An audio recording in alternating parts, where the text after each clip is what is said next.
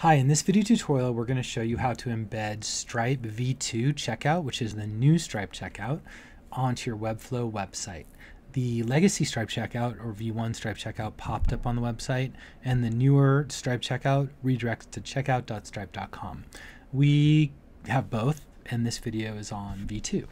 So we have two buttons on this page. The top one is the styling that comes right out of Stripe, this purple and white button, and the bottom one is a Webflow button that you can style however you want. We just turned it green, but uh, once it's embedded, you can do whatever you want for styling. So let me click on the top button and show you that it redirects to checkout.stripe.com for payment, and the same thing will happen with your with your Webflow button. If clicked, there we go.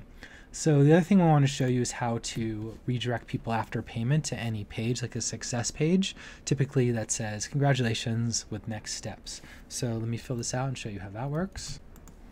And your customer will click subscribe and then Stripe will process that payment and then you will be or the customer will be redirected to whatever URL you have provided. And this is all in a low code slash no code environment where we write the code for you you can just copy and paste. So here we are on our Webflow site to our success kind of thank you page. And let me show you how you would do this yourself. So first step would be to create a page. So okay, so we're creating that blank page. I also have a page that I've already created that is the, just the success page, which is just a container with a headline and some lorem ipsum. And that page has a URL that you can look up here. The slug is success. And here's the um, URL is just our website slash success. Okay, that'll be important later on. So let's see, where are we? We're going to go to page 10. Okay, so let us embed a container for the button number one. And while I'm there, let me embed the container for button number two and just separate them.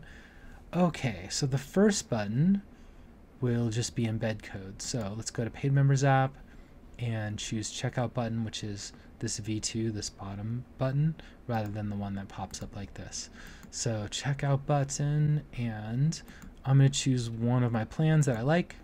We pull all your plans from Stripe once you connect your Stripe account.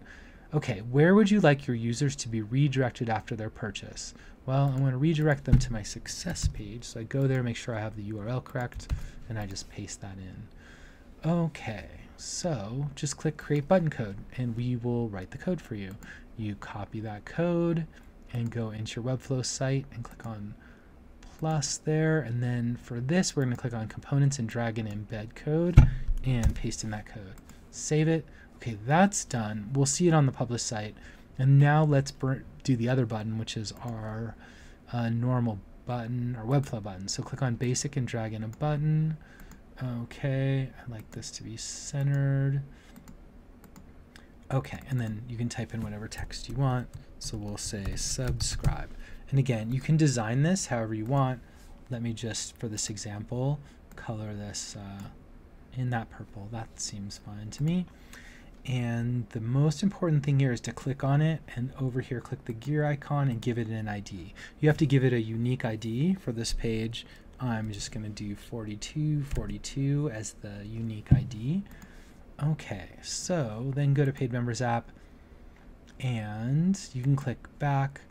We save your button, so if you don't see it populated, you can, whoops, click on that and that will pre-populate all your saved things. So we already have the success page in the plan. Just click advanced options, use my Webflow button, and then we just ask you for the ID. So just make sure that the ID here matches exactly the ID that you pasted into Webflow. Click create button code, copy the code, and go back to your Webflow site. Okay, so plus, and we are going to take that embed code drag that in, paste, save and close. All right, so let's publish this and see what we got. All right, there we are with our two buttons and the top one, if I click on it, will go here. And the bottom one, if I click on it, will go to the same place. So check out .stripe.com for payment. So let us show you how we get redirected. And your customer will click subscribe. The payment will be processed and they will be redirected to your success page.